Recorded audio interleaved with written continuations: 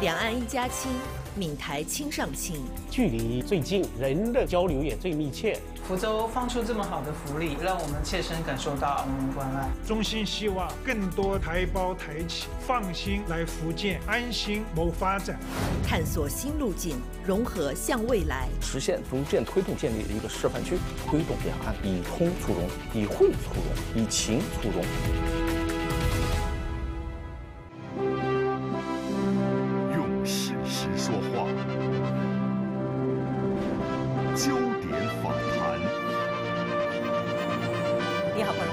欢迎收看《焦点访谈》。中共中央、国务院近日发布了关于支持福建探索海峡两岸融合发展新路、建设两岸融合发展示范区的意见，要求要以习近平新时代中国特色社会主义思想为指导，坚持贯彻新时代党解决台湾问题的总体方略，践行两岸一家亲理念，突出以通促融、以惠促融、以情促融。努力在福建全域建设两岸融合发展示范区。如何看待这次意见的发布？建设两岸融合发展示范区有着怎样的作用和意义呢？我们来看今天的解读。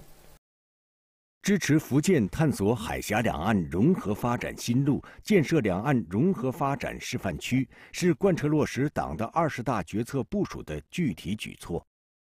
意见的最大亮点正是突出“融”这个目标。为台胞台企全面融入福建提供制度保障和政策支持，推进厦门与金门、福州与马祖等重点区域融合，推动闽台两地应通尽通、能融尽融。二零二三年是我们贯彻落实二十大精神的一个开局之年，那么也是我们对台工作贯彻落实党解决台湾问题总体方略、深化两岸融合发展的。一个重要的一个年份，现在推出这样的一个意见，实现逐渐推动建立一个示范区，就是这样的一个重要举措的一个体现。通过，呃，推动两岸的一个和平发展和融合发展，推动两岸的这种以通促融、以惠促融、以情促融，不断的来深化厚植两岸和平统一的这样的一个基础。闽台一水之隔，渊源深厚。福建是台湾同胞最主要的祖籍地，处于两岸交流往来、融合发展最前沿。意见指出，要充分发挥福建对台独特优势和先行示范作用，善用各方资源，深化融合发展，始终尊重、关爱、造福台湾同胞，完善增进台湾同胞福祉和享受同等待遇的政策制度。福建在地理上离台湾最近，台湾海峡呃最窄的这个距离呢啊是六十八海里。福建跟台湾的这个呃不光是距离最近，而且呢人的这个交流也最密切啊，这个文化啊也是最靠近。所以呢，党中央、国务院希望福建这个发挥对台工作的独特作用啊，我想这个也是福建理所当然的、责无旁贷的历史责任。两岸一家亲，闽台亲上亲。自2018年大陆出台关于促进两岸经济文化交流合作的若干措施以来，在祖国大陆对台方针政策的磁吸效应下，越来越多的台胞跨海而来，福建正是他们首选的登陆地之一。台胞许真真于2021年来到福州创业，主要开展短视频制作、直播带货、跨境电商等业务。今年一月，他报名参加了福州市第三批台胞公租房配租选房，如愿选中了一套四十五平方米的房子。小区地处福州繁华地段，周边配套设施全面，而每月房租才九百多元。福州放出这么好的福利，帮我们解决了住房的问题。那不仅减轻了工作生活成本，也让我们切身感受到福州这个城市对我们台胞的浓浓关爱。我一住进这个新房子，我就觉得在福州安家了。那心安定下来，创业就更有信心、更有动力了。享受到这种住房福利的不仅许真真一人。二零二一年七月，福州出台了再融就业创业台胞住房保障工作实施方案，在大陆范围内率先把就业创业台胞纳入住房保障体系，实行市场化标准百分之三十的租金减免。据统计，自2021年底至今，福州共放出台胞公租房房源一千零五十套，目前已经开展了四个批次的配租选房，共有两百四十一户、三百六十三位台胞入住公租房，圆了安居梦。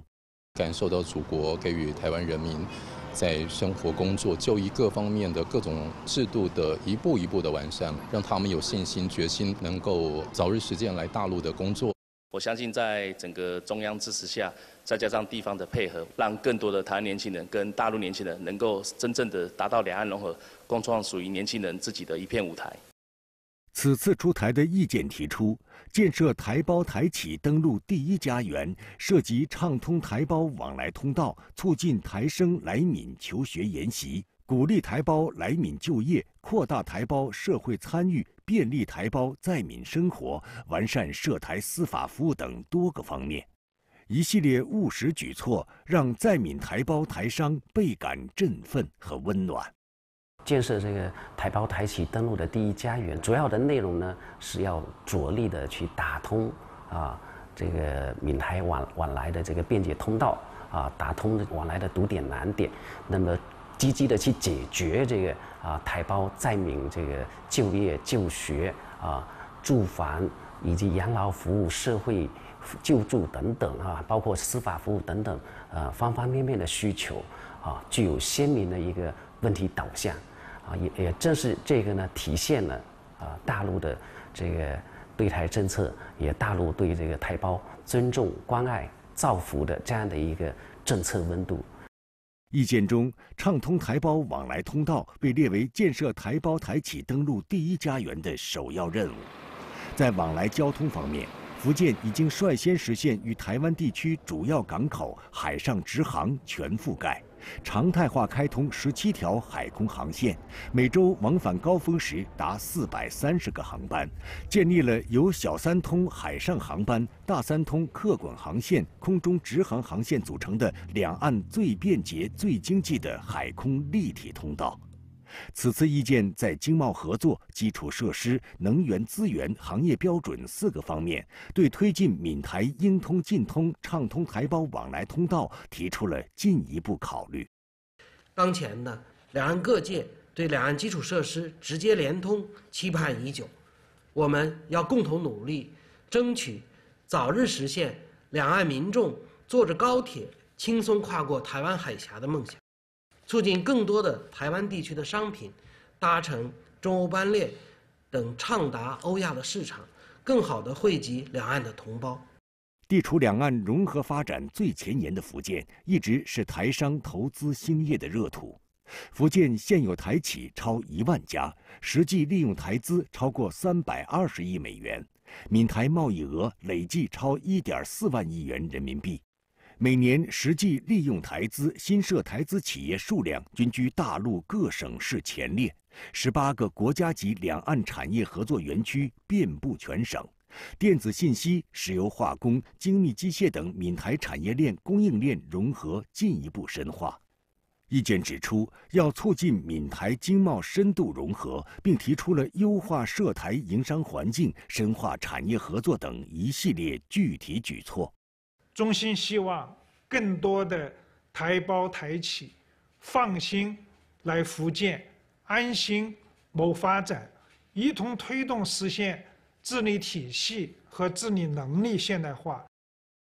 作为全国唯一一个对台综合实验区，福建平潭综合实验区正进一步探索放宽市场准入、简化投资审批环节，在贸易自由便利等方面重点突破，构建与台湾市场、人员、要素更加有效连接的渠道，加快建设两岸共同市场。平潭岛得天独厚的旅游资源，让不少台胞看到了开办民宿的商机。杨炳浩就是其中一位，可是过去要跑多个部门办理多项证件的繁琐流程，一度让他望而却步。这些流程跑下来，可能都需要花大半年的时间。其实对我们创业者来说啊，那可能还没有开业，但是办这些手续就已经把我们搞得精疲力尽了。平潭创新推出开办民宿承诺备案制与一起一证准入及准营制度，将多个申报材料优化成一张备案信息表，由专窗统一受理，后台并联审查，备案流程压缩至最多七天。现在有多证合一了，那我们就不用像以前跑那么多的证件。我们备案的时候，他就会给我们一个二维码，当我们透过扫这个二维码，就可以查询到这个备案的信息。此次公布的意见中指出，要加快平潭综合实验区开放发展，还提出支持福州与马祖深化融合发展，推进福州与马祖通水、通电、通气、通桥，打造福马同城生活圈。以及支持厦门与金门加快融合发展，实施金门居民在厦门同等享受当地居民待遇，率先推进基本公共服务均等化、普惠化、便捷化，打造厦金同城生活圈。这个政策来讲的话，真的是非常非常棒，也呼吁，也希望就是更多我们金门的年轻人踏上厦门，然后来厦门工作求学。来厦门打拼，然后我会在厦门等着大家。长期以来，福州、厦门以及平潭对台开放的这些试点示范的效应呢，啊，已经充分的显现出来了。啊，这些同时呢，能够在对未来这个呃福建全域建设示范区呢，发挥一个引擎带动的功能。融合发展离不开经贸往来，也离不开人文交流互动。值得关注的是，此次意见中就扩大社会人文交流合作、鼓励青少年交流交往、促进文化领域融合发展等方面，也提出了一系列举措。放眼福建各地，从城市到乡村，从田野到课堂，活跃着越来越多台湾青年逐梦的身影。这个就是这样子。九五后青年徐如仪就是他们中的一员。两年前，他来到厦门海沧区红塘村赤土社，与厦门当地志愿者们一道，对这个村庄量身定做了改造项目，以先造人后造物的理念，邀请村民加入乡村改造建设。这个项目我们会希望把重点放在让赤土社它能够自主的运营、自主的这个造血起来这样子，所以我们重呃重心会放在如何去培育村民，他们去执行一些活动啊、筹备活动等等的。徐如仪与大陆社工一起把村庄的旅游资源串联起来，开发研学课程，并将大米、蜂蜜等土特产包装成助农大礼包，提升农产品售价。乡村改造让当地村民周文考从面朝黄土背朝天的寡言农民，成为身兼乡村导览员、农家乐老板等于一体的新农人。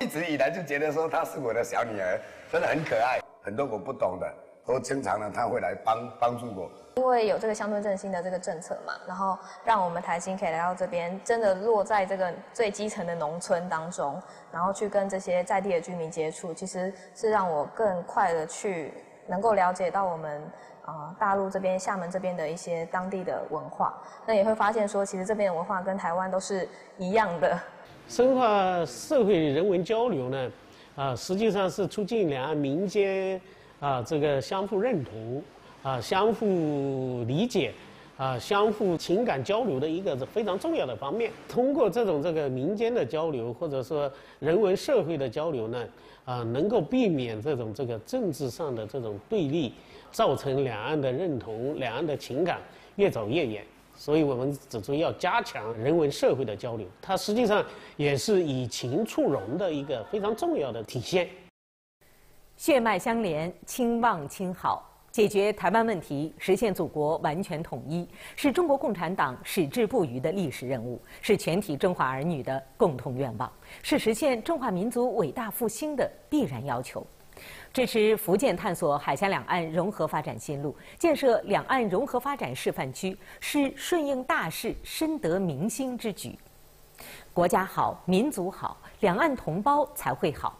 新时代是中华民族大发展、大作为的时代。也是两岸同胞大发展、大作为的时代。两岸关系和平发展、融合发展，是造福两岸同胞的康庄大道，也需要凝聚两岸同胞的力量，共同推进。感谢您收看今天的焦点访谈，再见。